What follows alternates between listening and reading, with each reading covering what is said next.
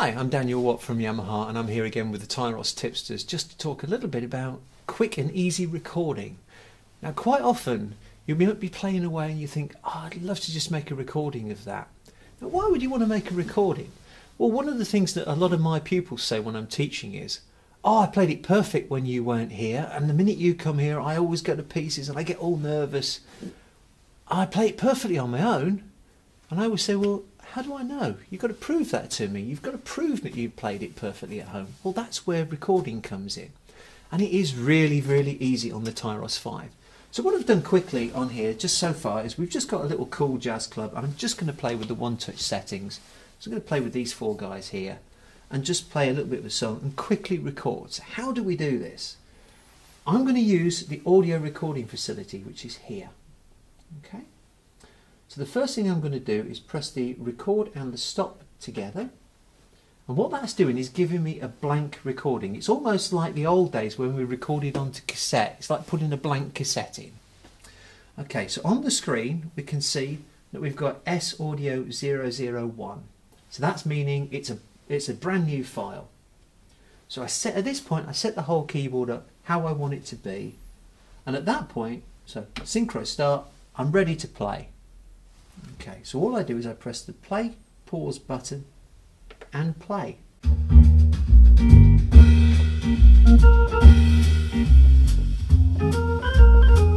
If this is in my way, I can press the exit button. So I've gone back to the main screen.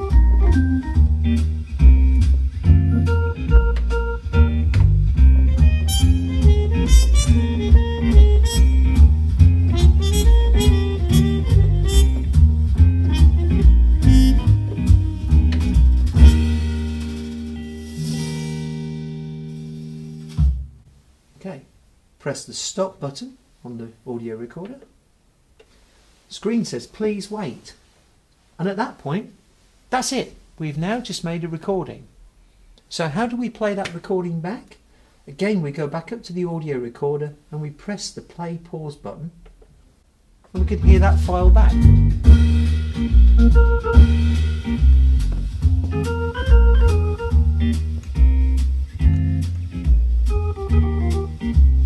Mistake there, didn't I?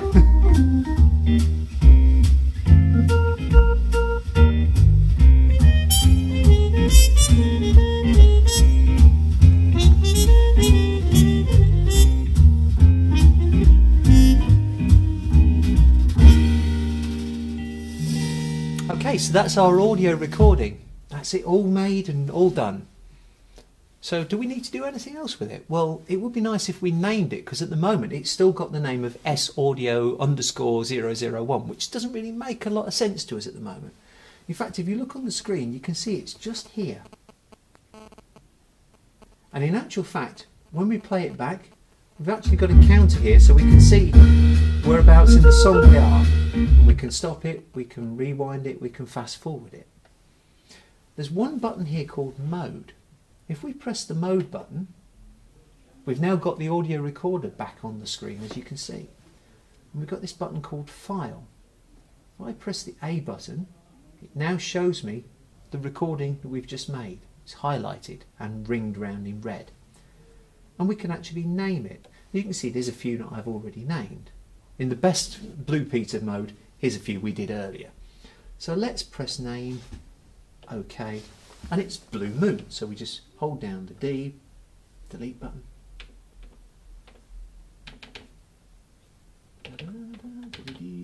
Oops, went wrong. Just go back one. Space. That's actually one of the most common questions I get asked. How do I put a space in? So let's put the E in. I want to put a space. It's this one. And just wait till it moves across. And now we've put a space in. It's one of the most common asked questions. How do I put a space in anything? And there you go. There's Blue Moon. So I can select that. Instantly goes into the audio recorder and press play. So I've got a few here. I can press Besame Mucho and play. And away it will go with Besame Mucho.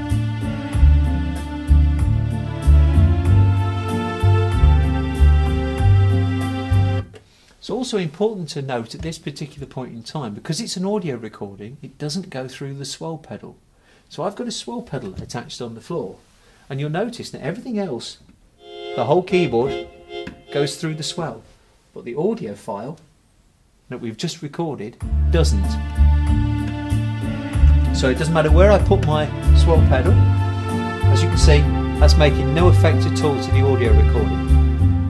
The reason why that's being done is that the audio files don't go through the swell pedal because when they're recorded, they're recorded with that movement in the swell pedal. So any changes that you move on your swell pedal when you're doing an audio recording will go into that recording. That's why it then can't affect it later because you'd end up having two lots of expression on a recording and it wouldn't work.